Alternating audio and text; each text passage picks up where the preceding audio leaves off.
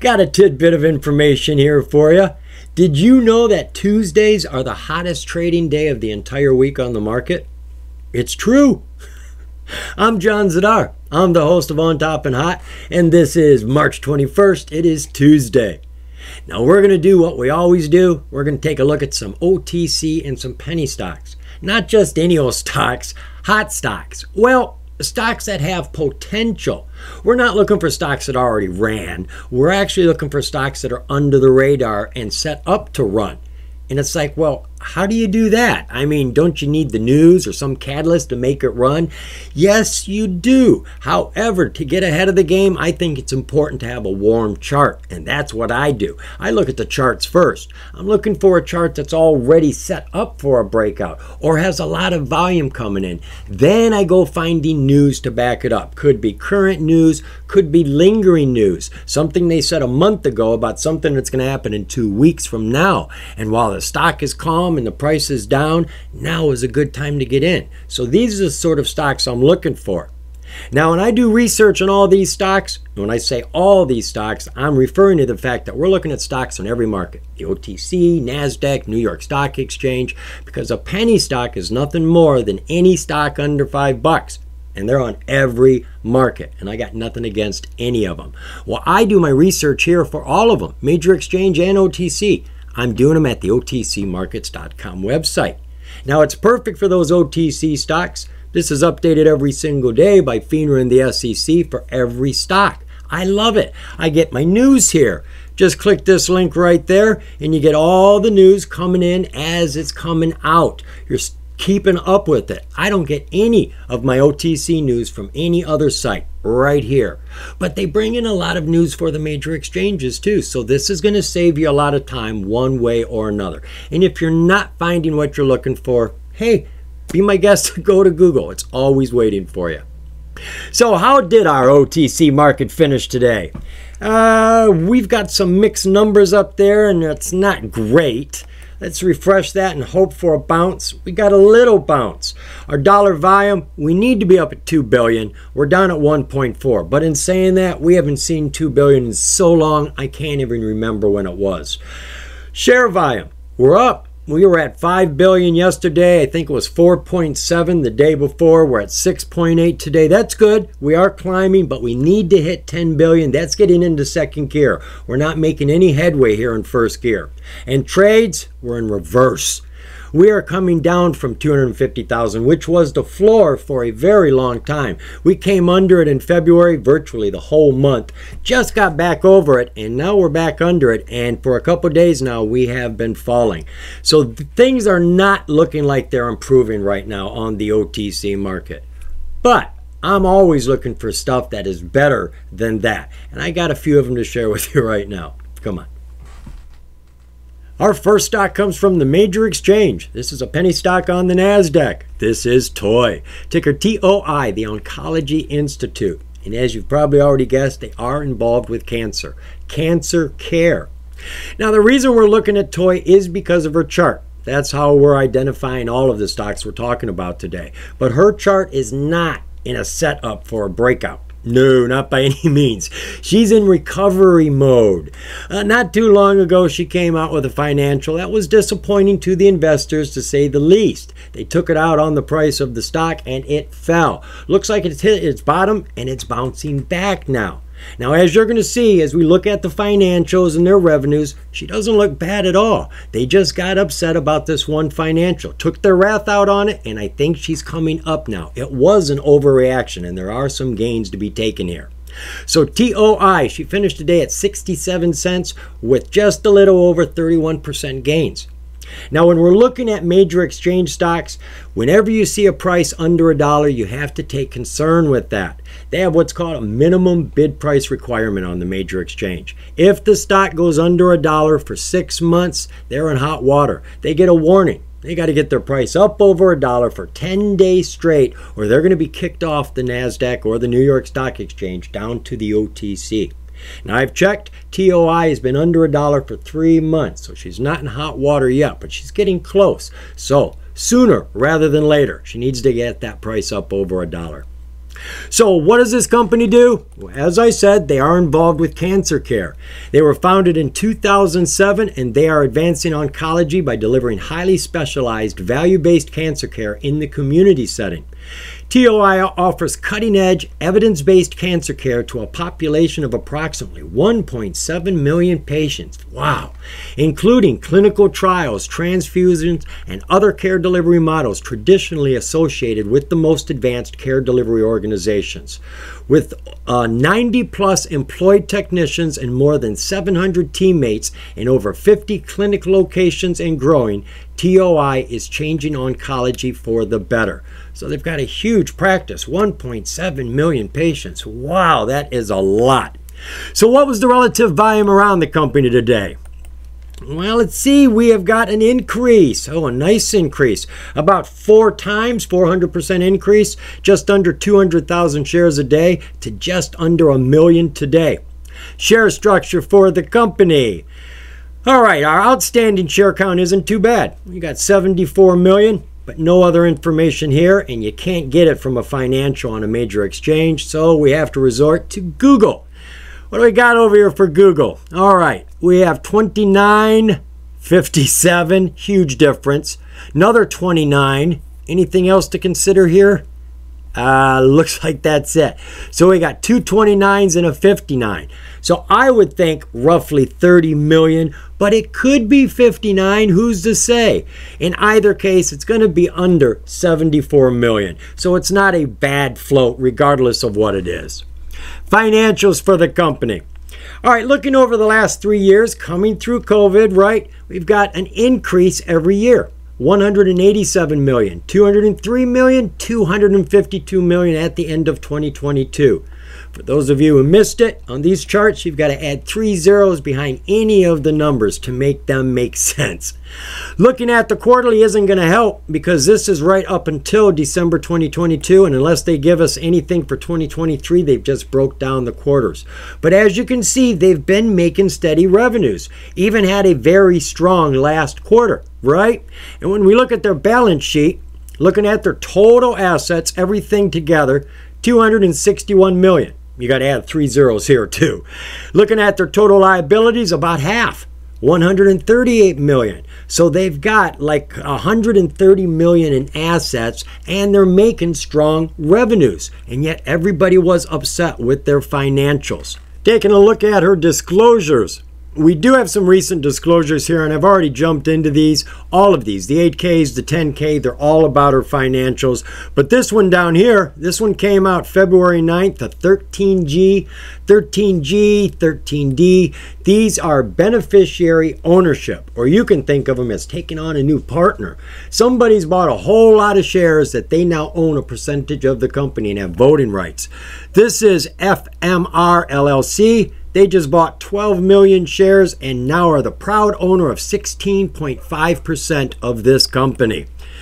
All right, let's take a look at that news. I don't think they have any news here except about their financials. No, they don't. But it is in the financials that we get the rest of what we need here. The company has financial stability, but the financials came out and the stock fell. So if you're going to be jumping into this, you want to know that they're financially stable. Looking at the highlights of 2022, this just came out March 16th, just a few days ago. Uh, they just got $110 million invested into them by Deerfield Management. They ended the fiscal year with $132 million in cash and cash equivalents. They generated over 1.7 million in savings to patients through the company's dispensary co-pay assist program, added three new gain share contracts in Florida, and completed six practice acquisitions. Their consolidated revenues were $71 million compared to 52 million last year. That is a 36% increase. Gross profit, they're into profit. They had $16 million, which is an increase of 87% compared to the same quarter last year. Everything is growing here. And then they give us projections for 2023. A lot of companies don't do this. A lot of the small penny stocks, we've got projections here. They tell us that they are expecting revenues of 290 to 320 million, representing approximately a 15 to 27% growth from 2022. A gross profit of 60 to 70 million. So everything is on track, everything is going. So I expect this company's price right now to have hit the floor. Everybody's done beating this stock up for financials that came out. I think it was on the 3rd. Now she's starting to come back up. Now would probably be a good time to get a seat on this little rocket.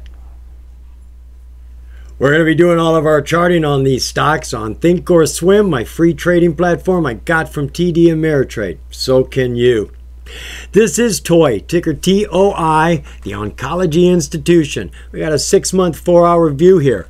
We have a high back in August of $7.60, and we hit a low a couple days ago of 45 cents. As you can see, she has been falling. She did a lot of consolidating right here at about $1.44. She's just kind of stuck in that zone. And then out came those financials. It looks like it was on the 9th, and she had that big fall. And you can see lots of volume came in for the sell and right now, the volume's coming in for the buy. We're on the other side of that low bubble starting to come up. And we've got a beautiful setup here on our PPO and our ADX. You see that perfect mirror image right here?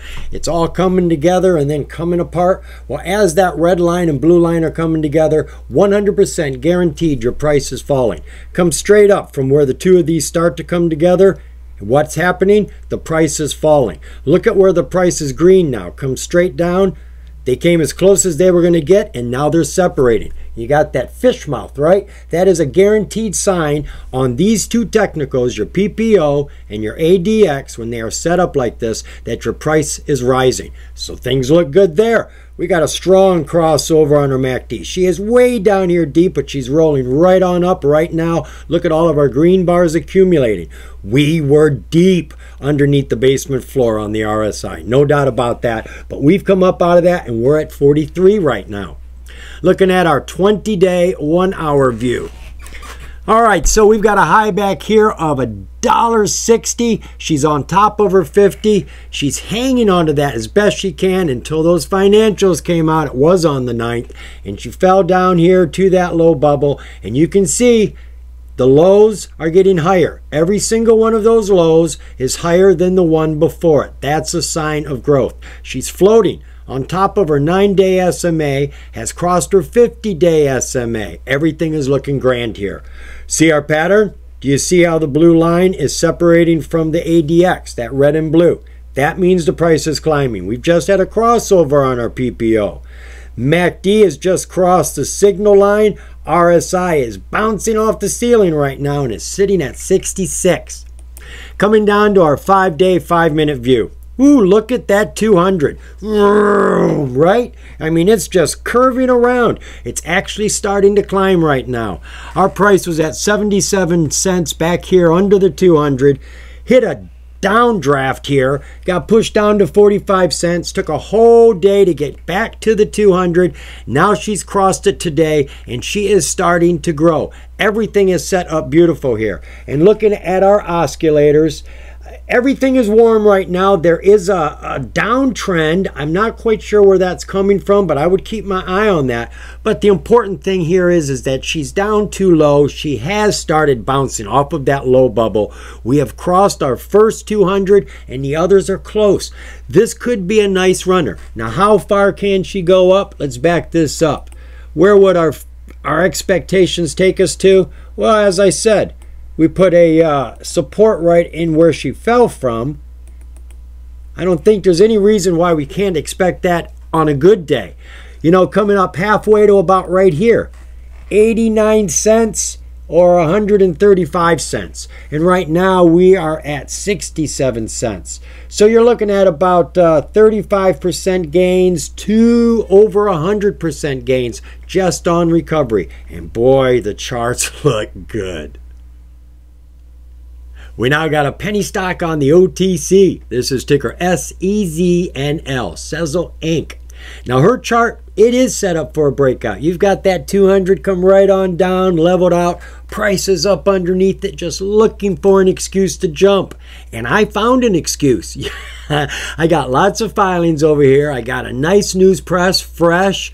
The problem is, is that I think it's under the radar. Not just the company, the news. The reason I say that is this news press is not been released as a news press. It doesn't come out. You look over here, what do we got? No news, none at all. And it is not in Google. I go looking around on Google for it. It's not there. So where did I find it? In the filing but it's a picture. It's an image. It's not even text. So I don't even know if Google can find it. So I think it's under the radar. Nobody has actually seen this news yet. And I think when it gets out, it's going to help this price get up over that 200 so she can start to move. So Sezzle Inc., she finished the day at 40 cents with about 17.5% gains. She is on the pink tier. She's current and she has none of those green ticks I'm always telling you about the verified profile and the verified transfer agent. These are important to see if you're in a stock for a long hold because they represent a lot of important information that's being validated behind the scenes. And you want as much validated information as you can get with the pink because you're not getting much with the disclosure. No CPA is looking at the numbers. Those are just being given to you by the management. So whenever you get some validated information, it's a good thing. Now, if we're just going to play Sezzle for a quick day trade or a short swing, no problem. We don't have to worry about that. So what does this company do?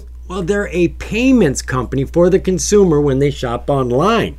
Sezzle is a technology driven payments company based in the United States with the mission of financially empowering the next generation. Sezzle provides a payments platform that facilitates fast, secure, and easy payments between consumers and retailers. Sezzle's payment product is a short term, interest free installment plan. The Sezzle platform allows end customers to make online purchases and effectively split the payment for the purchase over four equal interest free payments over six weeks. So that's what they do, and they're making money doing that. So, what was the relative volume around the company today? Well, what do we got? about even Steven. She fell just a smidge. I mean, she's under the radar. She's only doing 6.8 thousand shares a day, and today she barely got over 6,000 with just a wee bit of drop. So she is under the radar, as I said. Share structure for the company. What do we got over here? Okay, we've got 208 million outstanding no information here. I actually couldn't find it in the pink, so I had to go do a search over at Google, and I only found one number. I could not find any other numbers. So they tell us it's 105 million. What is the outstanding? 208. That's not bad. We're at about 50%. So maybe that's the float, maybe it's not. Financials for Sezzle Inc. All right, she's been climbing. Over the COVID period of time, we went from 58 million to 114 million to 125 million. And again, this takes us to December of 2022. So we're not getting anything over here except that they wanted you to know about this. They put it out in a press release. It has not been released as a financial yet. We've still got uh, two, three weeks, and then they probably got a month after that before they have to file. But they wanted us to know. So over here, in the filings is where they decided to put this news press. It's right here in this 8K that came out yesterday. And the whole point to this 8K was to announce this news press. Press release of the company dated March 20th. So where is it? I could not find it on Google, but it is right here. But as I said, it's a picture. I can't highlight any of this, so I don't know how Google would go about indexing this for other people to find. Not real smart. So I'm going to touch on to some of these February business update facts here so that you can see what's going on. And I think when this information gets out, because they are growing, I think it's going to help this price to move. Total income for February increased almost 30% year over year to $10.7 million. An important one, Sezzle achieved profitability in February, posting positive net income. That is huge. Sezzle's premium has over 138,000 active subscribers as of March of this year. As of February of this year, they had $68 million in cash and could borrow up to $47 million more. They let us know here that they did have a little bit of money deposited in with Silicon Valley, about 2%, but it didn't affect their business. In either case, they've pulled that out and they've put it into another bank. Then we've got an important piece of news here. They are planning to uplist to the NASDAQ. Now, this is very important, though it's good news. If you're holding the stock, you've got to prepare yourself for a reverse split.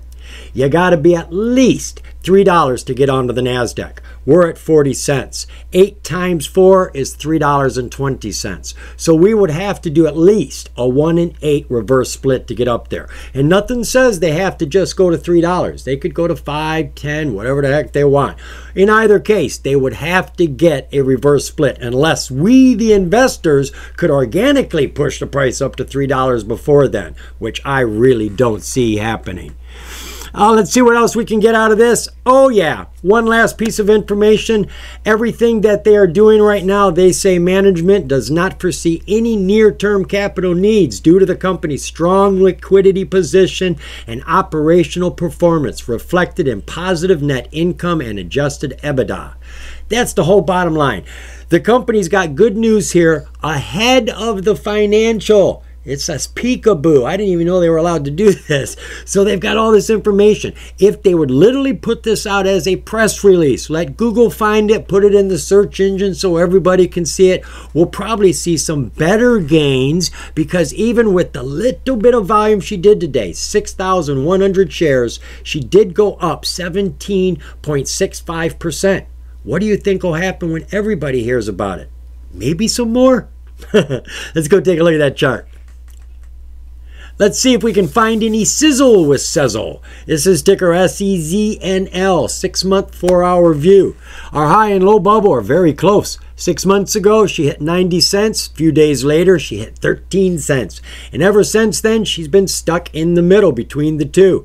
She was going sideways here for quite a while, then made a jump. Once that 200 day SMA got close, right? She made a jump for it. She got up there, slid down a little bit, and she has fallen underneath her 200 and her 50 day SMA right now. And our technicals are looking low. Everything is pushing down a wee bit right now. And our volume is super duper low right now. 20 day, one hour view. All right, you can see she hasn't been getting a lot of trading. We don't have a lot of bars here. Our low, that's 32 cents here under the 50 day SMA. The next day, she darn near doubled that, 100% jump to 59 cents. She's come back down to a low here of 36 and now a low of 34, and now she's starting to come back up. Things don't look great, I will grant you that. Our technicals, they're, they're trying to recover right now. I see our ADX is falling and this is trying to come up, isn't quite there yet. We have a crossover attempting to happen here and our RSI is actually pushing up. Thank God for the little things, eh? Five day, five minute. That's it, folks. We had 15 minutes of trading in the last five days. Not a lot of volume. Under the radar by all means. She jumped from 34 cents to 40 cents and she's holding right there right now. Technicals, everything is flat. Really, I don't see a whole lot going on, but when you don't have any volume, that's what you have. It is just frozen. And I think, honestly, the news being put in an image format hidden inside a filing, I think is the absolute worst place to possibly put it. So I am thinking somebody's going to come to their senses and tomorrow or the next day it's going to be released and then maybe the volume's going to come into this remember with only 6100 shares we got just under 20% gains today and i'm sure it was about that news that came out yesterday so seznl wild card on your watch list no, it's not deja vu. We've been here before. We looked at ticker SWISF, Secure Private Data, on the 15th, just about a week ago. She was looking good then. She had a nice warm chart, broke out over her 50, still under the 200. But with the news, I thought there was something to be gained. And I must have been right. Since then, we've gone up virtually 100%. Well, she's just had more news come out, and the chart looks even better. Now it's red hot. She has just now broken out over that 200 day SMA and has already got a run started. So I think it's a good time to look at her again. SWISF, Secure Private Data, she finished the day at about six and a half cents with almost seven and a half percent gains. She's on the top tier of the OTC, the QX. This is the most transparent, most trustworthy tier you can be on. They have to audit their financials to be here, and they give us all the information about the company. And they've got every green tick we could ask for here verified profile, transfer agent verified, Independent directors, you got to have those if you're uplisting. I'm sure they used them when they came up to the QX, but if they want to go to the NASDAQ or the New York Stock Exchange, they're going to need them then as well. And we got a bonus here. They're penny stock exempt.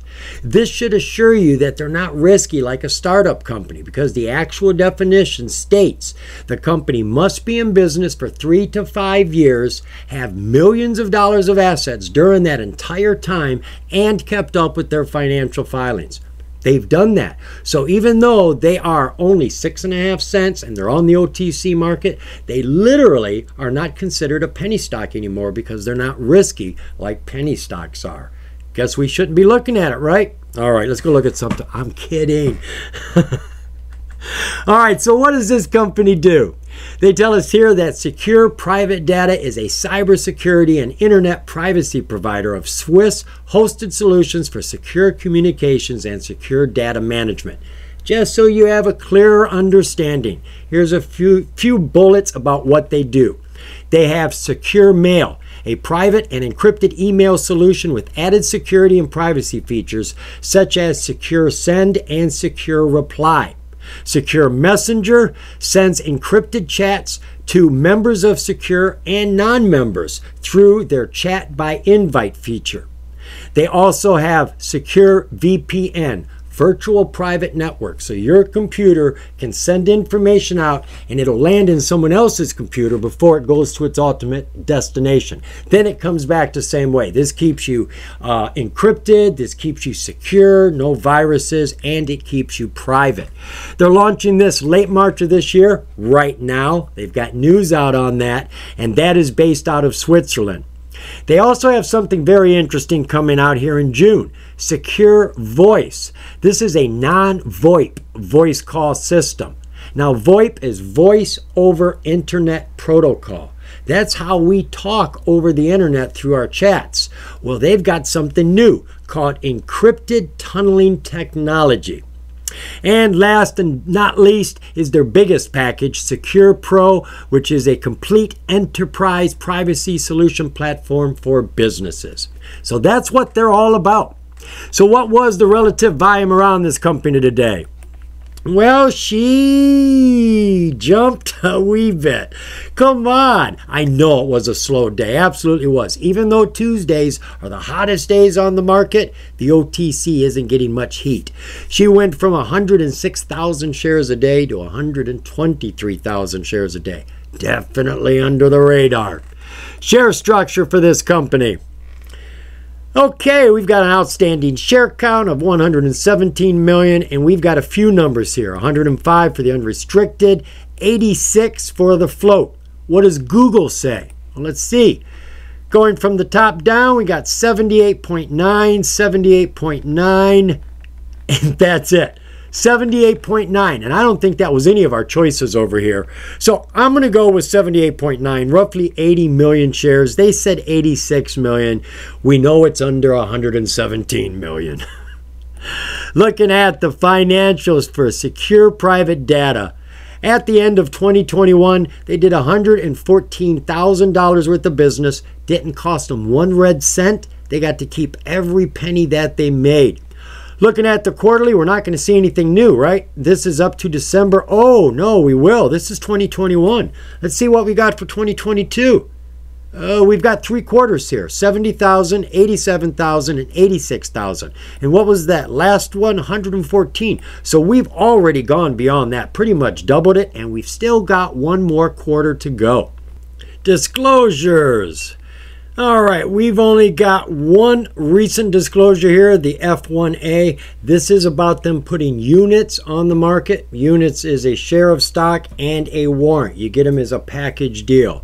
Outside of that, we've got nothing here. So let's take a look at that news. Our news is going back here to February of this year, and this is when we looked at it. These two pieces of news were the two pieces I thought were enough to get this stock moving. Secure Private Data will soon be launching its Swiss hosted Secure VPN for privacy enthusiasts. And Secure Private Data announces its 2023 budget is fully covered with existing cash flow. So we were seeing they had lots of money and they were bringing out a new product. Since we looked at it, they've had more news come out. Uh, the company reduces customer acquisition cost. Uh, the company launches new free disposal anonymous emails for its Swiss hosted secure mail solution confirms it has no deposit or relationship with SVB Bank.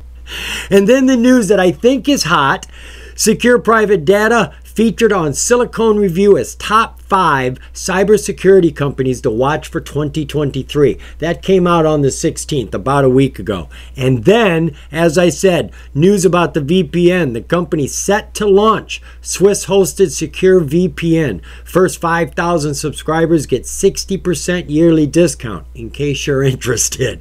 So, this is what we have. We don't even have to jump into any of the news. The company's doing well, things are growing for them, and there seems to be a lot of of activity around the price right now. It has been growing since the 15th and it looks strong right now. Well, let's quit talking about it and let me show you what I'm talking about. Returning to the scene of the crime. This is ticker SWISF six month, four hour view. We got a high back here in August of 23 cents, the last time she got through that 200 day SMA. Fell all the way down to a low, about a thousand percent down to 2.7 cents at the beginning of January. And it was right here on that blue line that we looked at it last. That was on the 15th.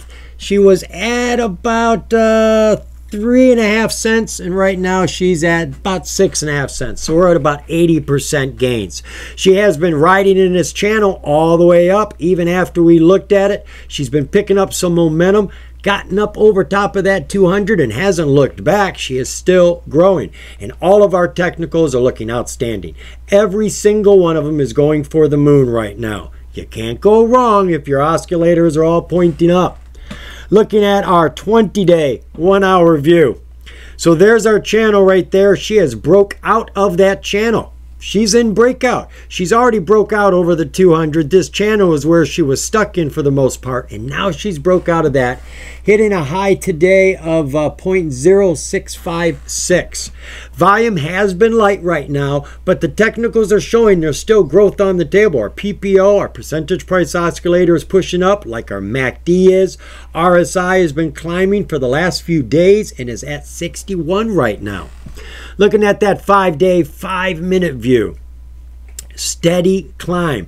Here's our 50 day SMA. She was underneath it at her low, just under 5 cents.